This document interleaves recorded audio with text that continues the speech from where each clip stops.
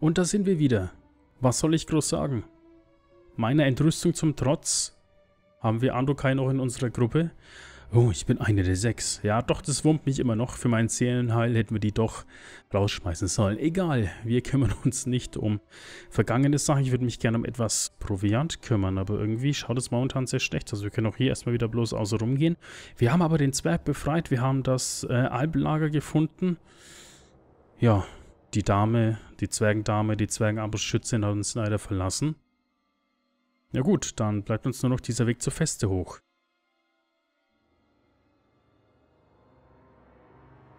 Den wir jetzt erstmal gehen werden. Ich kann nochmal schauen, aber nebenquestmäßig... Nö, haben wir das abgeschlossen. Vielleicht gibt es noch einen zweiten Quest, sehen wir dann. Und trotzdem muss ich mich hier nochmal auf die ersten paar Folgen beziehen. Irgendwie gab es da anscheinend auch die eine oder andere Nebenquest, beziehungsweise, beziehungsweise äh, einen Nebenquest, auf den ich hinaus möchte mit den, äh, wie heißt's? Mit den, mit den, mir liegt es einmal mehr auf der Zunge, mit den Orkhorden, genau, dass die, ich sag's ständig falsch, nicht, dass der Quest nicht abgehakt wurde. Das habe ich nicht so ganz verstanden, aber, naja. Eigentlich haben wir den ja gelöst, aber der wurde nicht komplett äh, abgeschlossen und dann im nächsten Akt oder im nächsten Gebiet wurde der ja automatisch rausgelöscht. Egal schon unglaublich lange her im Vergleich, wo wir jetzt stehen, aber ein bisschen verwirrt mich das nach wie vor noch. Egal. Weiß auch nicht, wie ich da jetzt drauf komme. Ziehen wir weiter. Keine Verletzungen, das ist gut. Ah, ich glaube, einer hat noch Verletzungen. Das könnte jetzt letzten... Na, verkehrt. Äh, das könnte noch reichen jetzt für den letzten Tagen. Ne? Genau, eine Verletzung, aber dann haben wir nichts mehr zu essen. Achso, hier wollte ich nochmal schauen auf einer Landkarte. Ich wollte euch hier scrollen, aber es geht wieder nicht. Machen wir das mal so. Geralda ist geflohen. Etwas sagt ihr, dass ihr euch wiedersehen werdet. Du vermagst dich zu sagen, ob es ein friedliches Wiedersehen wird. Oh, das äh, wird schön. Vielleicht habe ich mich doch falsch entschieden. Vielleicht habe ich die Worte der Mager angezweifelt. Aber ja gut, nur weil jemand korrumpiert wird, heißt es ja auch lange, dass er seinen freien Willen irgendwo wieder zurückkriegt, was ja irgendwie auch geschafft hat. Die Straße wird hier so verdächtig durch zwei Dörfer, ob wir da vielleicht flankiert werden oder so? Nichts. Okay, jetzt haben wir kein Essen mehr. Ah, naja, weiter geht's. Da oben werden wir auch nichts zu essen finden. Als ob da oben Proviant irgendwie 1035 Sonnenzyklen oder allgemein Zyklen überlebt hat, das glaube ich nicht. Bei Einbruch der Nacht findet ihr euch auf einer heißen, mit spitzen Felsen übersäten Bergflanke wieder. Ihr würdet so ziemlich jeden anderen Ort für ein Nachtlager bevorzugen, aber es ist zu dunkel, um noch weiterzugehen. Mitten in der Nacht wirst du von Boindil geweckt. Gelehrter, riechst du das nicht? Es sind Orks in der Nähe. Du atmest tief ein, aber außer dem allgegenwärtigen Schwefelgeruch dieser Gegend riechst du nichts. Dafür siehst du Bewegungen in den Schatten und bist sofort hellwach.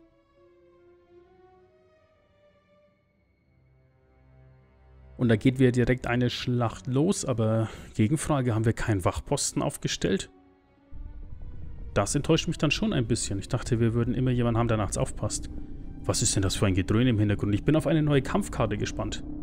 Kampfkarte, Gefechtskarte. Ach, ihr wisst schon, was ich meine.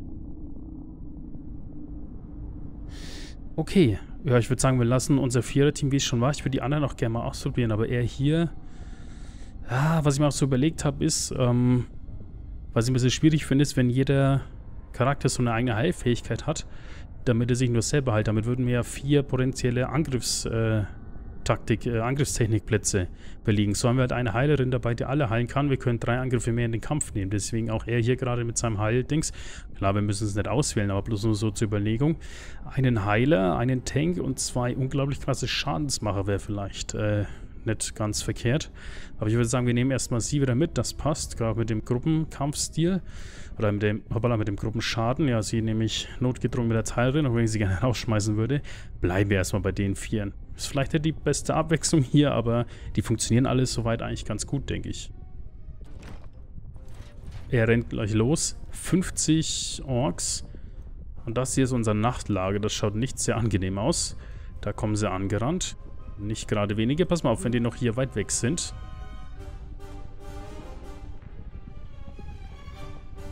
Hä? Wieso? Wieso habe ich denn jetzt auf einmal den Kettenblitz? Habe ich den Kettenblitz jetzt rausgenommen?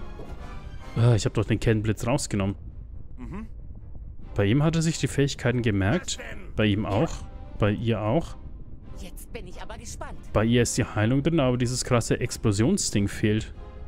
Ich habe doch nie im Leben den Kettenblitz freiwillig reingesetzt. Da habe ich gerade irgendwas verklickt. Wo kann ich denn hier laden, sag mal? Direkt zu Kampfesbeginn. Machen wir das nochmal schnell. Ich würde gern die, dieses schöne Explosionsspielzeug mitnehmen. Ja, und damit willkommen zurück im Ladebildschirm-Simulator. Das ist mir jetzt fast schon ein bisschen unangenehm, aber ja, sollte verhältnismäßig schnell gehen, oder? Schau mal. Ah ja, doch, das geht. Okay, ähm. Ach nee, weil ich sie abgewählt habe wahrscheinlich und dann, äh, na wohl. Ne, das macht man natürlich, ich dachte vielleicht, wenn man sie abwählt, dass er dann ihre Standardangriffe wieder reinnimmt. So, jetzt können wir aber starten, der Rest passt ja. Er sprintet los, sie steht da. Zeig mal her. Genau, weil dann schieße ich nämlich da drauf. Du bleibst da. Ah, jetzt haben wir gar nicht so viele getroffen, ne? Das geht... Oh, von der anderen Seite kommen sie auch. Na, umso besser. Oh ja, oh ja, oh ja. Machen wir das mal so. Sehr schön. Und direkt draufschlagen, wenn er liegen bleibt. Oh, wunderbar. Das funktioniert hier auch. Machen wir erstmal Oink Oink. Alle zu mir und Amok laufen. Einmal Schaden für alle. Das können wir jetzt erstmal machen, während der Bildschirm hier nicht äh, stillsteht. Und dann lasse ich natürlich wieder direkt den Bildschirm anhalten. Vor allem dieses, dieses Ding hier ist so stark mit dem Griff einfach irgendjemanden... Oh, da war niemand. Äh, einfach eins reinzudrücken. So, und jetzt schauen wir mal, wo kommen denn hier noch die nächsten? Äh, da hinten äh, sind zumindest einige Schützen. Oh, schade, die konnte man nicht runtersprengen. Ich hatte es gehofft. Einmal Heilung. Das hier ist natürlich auch interessant, wenn ich jetzt sage, was mir gerade einfällt, wenn ich sage, ich ziehe das wieder raus und nehme dafür noch eine, seinen Sprungangriff oder eine andere Angriffsart wieder mit rein. Weil damit heile ich mich ja primär. Auf der anderen Seite kann man damit halt auch die Aufmerksamkeit von Gegnern ablenken. Also es ist eigentlich auch wieder mehr so eine Tank-Eigenschaft. Wobei ich dem Tank auch wieder eher ihr zuschreiben würde, wegen den Lebenspunkten und so weiter. Vielleicht tun wir die raus, nehmen dafür wieder was mit mehr Schaden rein, weil sie alle heilen kann, also auch ihn. Ja, wir müssen mal ein bisschen rumtesten tatsächlich. Also den habe ich auch schon lange mal benutzt. Ja, schön. Dafür drehe sich ohne Sinn und Zweck einfach im Kreis. Wunderbar. Tun die hat gar keinen Bock mehr zu kämpfen, das verstehe ich. Na, dann schlagen wir halt zu viert auf den Einkommen. Ach so, das kann nur er. Dann Ach so, das sind sogar wir. Warte mal. Und da ist er tot. Und wir rennen mal da hoch.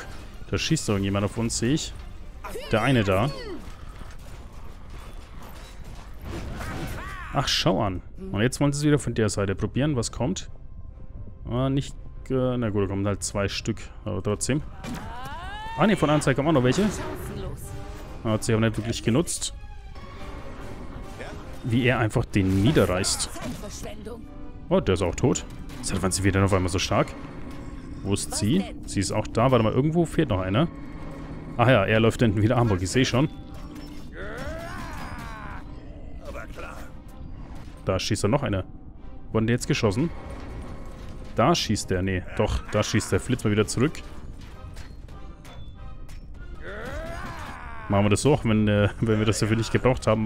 Was bist du denn für einer? Das geht immer so schön schnell. Ja, wenn man die einzeln vor sich hat, dann kann man doch die Kills ziemlich schnell zusammenholen, ne? Mal hier so ran und direkt hier dem die Axt voll reinzimmern. Na, ne, ne, ne, ne, ne, so vielleicht, ja. Was? Als ob der es blocken konnte oder so.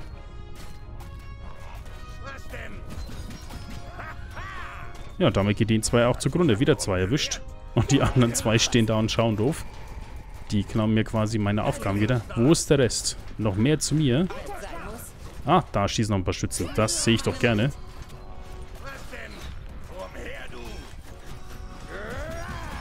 Von da oben schießen die. Wie kommen wir denn da hin? Warte mal. Ich weiß auf jeden Fall, wie wir die da wegkriegen.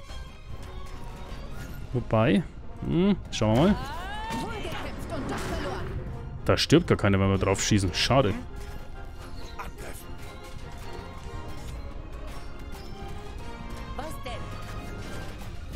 Ah, vielleicht müssen wir da einfach nur außen rumlaufen, damit wir die kriegen. Haben wir hier eine Heilung für alle. Und Abfahrt. Ganz schnell hier weg. Vielleicht müssen wir da einfach hochgehen oder so. Bisschen weiter raus zum Tor. Ich denke, da können wir hochgehen. Schade, ich dachte, wir würden die so erwischen. Aber wir kommen euch gerne entgegen. Dass wir jetzt hier auf der ganzen Karte noch die 50 Mann suchen müssen. Die 50 Orks. Ach, das sind sie ja. Kann ich da drauf schießen, ohne dass ich jetzt einfach meinen erwische? Ja, ich erwische nämlich gar keinen. Auch sehr schön. Ja? Ne, der ist noch nicht tot. Der steht da hinten. Ich auch, aber es hat gerade sehr schön ausgesehen, wie du den niedergemacht hast. Es fehlen noch elf Leute. Moment, Kamera mal in diese Richtung. Oh, hier ist die, äh, hier ist die Karte zu Ende. Gut, okay. Äh, dann flitzen wir mal wieder zurück. Wo ist der Rest? Jetzt habe ich mir natürlich nicht gemerkt, wo ich überall schon lang gelaufen bin. Die sind tot. Ich glaube, da hinten waren wir noch nicht. Ne? Gehen wir mal in die Richtung weiter. Ihr seid alle so langsam. Flitzen alle dem Axtkämpfer hinterher. Finden, äh, was heißt finden? Werden wir nochmal seinen Bruder eigentlich wieder treffen? Also ich würde es mir wünschen, dieses Zweierteam. Klar, sie ist auch sehr stark, aber ich hätte gern wieder unseren äh, Boendal dabei, wenn ich ganz ehrlich bin. So, jetzt stehen sie da und wollen nicht kämpfen. Gehen wir da mal rein. Wunderbar. So, und da kommen noch mehr angelaufen, oder? Ja, so ein paar einzelne. Oh, Es hat leider nicht so viel gebracht, wie ich äh, gerne gehabt hätte. Mehr Schaden für alle. Und du? Wieso, wieso seid ihr denn um die da rumgelaufen? Machen wir den da nieder. Oh, da ist er ausgewichen. Moment, der liegt auf dem Boden. Machen wir gleich nieder. Wunderbar. Dann hier einmal Amok laufen. Ich habe doch hier noch diesen Schwinger. Warte mal. Ah, da treffe ich wieder bloß meine eigenen Leute. Obwohl, so vielleicht nicht. Oh, das ging. Ein gutes Training. Ja, bitte? Ich finde diesen Move mit, der, mit dem Axtkopf, wie gesagt, so schön. Einfach rein da und gut ist. Jetzt fehlen immer noch drei. Wo seid ihr denn? Ihr wolltet uns überfallen, aber wir haben einfach den Überfall vereitelt. Kommt doch wieder zurück. Wo seid ihr? Da sind noch genau drei Stück. Sind es genau 50? Nee, wollte schon sagen, da schießen noch mehr. Nochmal hier. Mehr Schaden. Nee, machen wir mal das da. Ja, irgendwie... Also das macht schon mehr Schaden, aber ich bin anscheinend nicht fähig genug, da richtig damit zu treffen. Weil ich da immer bloß ein oder zwei treffe, aber ich dachte, das ist so ein Gruppenangriff. Was, wir sind durch? Äh, okay. Tipp, Helden können verletzt werden. Ja gut, das wissen wir ja mittlerweile. Oh, wir haben Verletzungen, kein Proviant mehr. Uh, das ist Nach schwierig. dem Kampf hast du endlich Zeit, Luft zu holen. Du schaust der Reihe nach zu den anderen, ob es allen gut geht. Bavragor wirkt wie weggetreten und schwankt mit jedem Schritt, den er macht. Bavragor.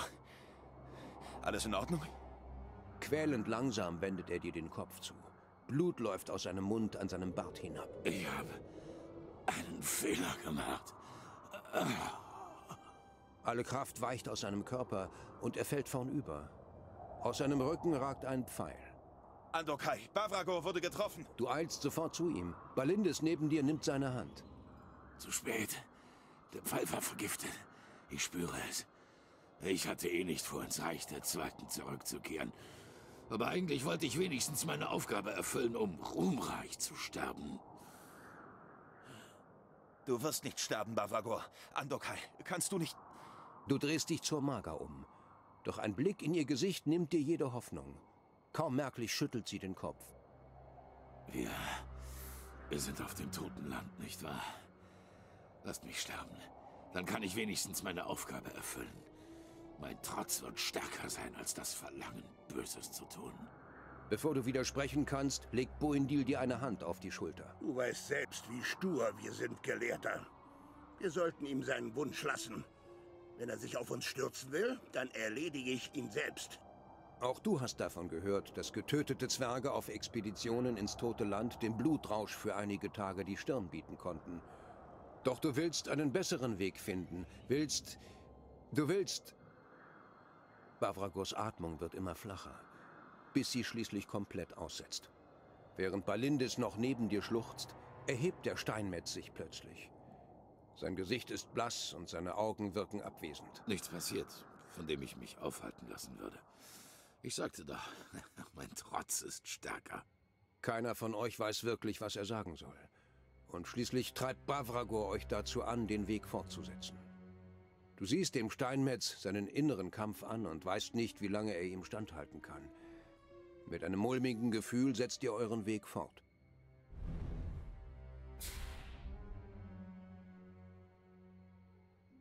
Ähm, ähm, ähm, was ist denn jetzt los? Also, jetzt, äh, jede Runde oder jeden Tag, die wir marschieren, verlieren wir jemanden Neues. Erst stirbt uns, ähm, ähm, ähm, ähm, ich, ich weiß nicht, was ich sagen soll. Erst, äh, also, gut, dass äh, Giralda gestorben ist, klammern wir mal aus. Sie verlässt uns des Nachts. Dann stirbt er durch einen giftigen Pfeil in den Rücken, kann aber jetzt wieder aufstehen. Also jetzt ist er weil er auf dem Totenland gestorben ist, wieder auferstanden als ein Untoter. Wie gesagt, nur für mich nochmal zur Wiederholung. Aber er, wie auch immer, kann diesem dämonischen Einfluss widerstehen. Wahrscheinlich auch wie die Elfe. Stimmt, wie die Elfe in Grünhain, die sich da auch dagegen wehren konnte. Obwohl sie tot war. Aber man weiß nicht, wie lange es bei ihm anhält, bevor er in diesen untoten Blutrausch, oder wie auch immer es beschrieben wurde, oder wie immer ich es auch beschreiben kann, äh, verfällt. Das heißt, stimmt, wir brauchen ihn, damit er uns diese Verzierungen irgendwie macht, ne? Diese Steinmetz-Verzierungen. Schmied, Steinmetz, Juwelenschleifer und wir, genau, wir vier. Wir als Waffenträger, genau, die Schmieden, um es herzustellen, den Juwelen, um diese Verzierungen zu machen. Oh, das sind sehr gute Startbedingungen. Wir haben kein Essen mehr und einer von uns ist untot und einer ist schon ein paar Tage vorher quasi geflohen von unserer Truppe. Das wird nicht besser.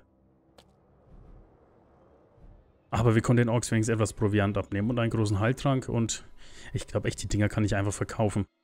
Die Dinger verkaufen und dann mit ganz viel Geld die teuren Artefakte kaufen. Wenn es jetzt nicht sogar schon zu viel, äh, dafür zu spät ist. 100 XP. Ja genau, der Lebende wurde aus der Gruppe entfernt, der Tote wurde der Gruppe hinzugefügt. Ja gut, das ist... Oh, hat er jetzt andere Fähigkeiten? Da habe ich gar nicht nachgedacht. Äh, da, da, da, wo ist er? Wo ist er? Da ist er. Oh, er kann tatsächlich andere Sachen. Wut. Bavragor greift in blinder Wut mehrere Gegner vor sich an und macht viel Schaden. Das erinnert mich an... Ja, den wird er wahrscheinlich zuerst anfallen, weil ja er ihn für den Tod seiner Schwester verantwortlich macht. Ach nee, Klingensturm war es. Äh, wirkt zumindest vom äh, Zeichen her identisch und von der Beschreibung. Klagelaut lässt Gegner im Umkreis in Panik verfallen, sofern es keine Untoten sind. Todesatem. Bafragor Art mit Gegnern mit fauligem Atem an, eine Wolke entsteht, die lebende Gegner in ihr betäubt. Wäre schon fast mal interessant, das zu probieren, ne? Passiv äh, steht mit vollem Leben wieder auf, wenn er getötet wurde. Äh, okay. Zwar hat Bavragor beteuert, dass alles in Ordnung ist, aber seit er zurückgekommen ist, hält er sich abseits vom Rest der Gruppe. Während eurer Wanderung beschließt du, ihn anzusprechen. Geht es dir wirklich gut? Ich fühle nichts, Tungdil. Ich spüre meinen Körper nicht mehr und mein Kopf ist merkwürdig leer. Ich hasse Dinge, die ich vorher liebte und Dinge, die ich hasste. Er wirft einen Blick auf Boindil. Würde ich am liebsten in Stücke reißen und verschlingen. Du hattest keine Ahnung, dass es so schlimm ist. Zum einen fühlst du einen unsagbaren Schmerz, deinen Gefährten in diesem Zustand zu sehen. Zum anderen hast du Angst, er könnte einen von euch anfallen. Und du hast es, vor Bavragor so Angst zu haben. Hey, Maga, sag deinem Handlanger, er soll auf mich aufpassen. Wenn ich Dinge tue, die ich nicht tun sollte, soll er mich aufhalten. Alle sind stehen geblieben und starren den Steinmetz an. Andokai löst sich als Erster aus der Erstarrung und nach einem Nicken folgt Jerun den Anweisungen und weicht von da an nicht mehr von Bavragors Seite. Ach, da konnten wir hier noch hinlaufen. Ich habe schon gedacht, ich habe den Punkt da, äh, ich habe da gar keinen Punkt gesehen, wo wir hinlaufen konnten. Ich dachte schon, ich habe aus Versehen auf die äh, Festung der Fünften geklickt. Ja, es schaut nicht sehr einladend aus.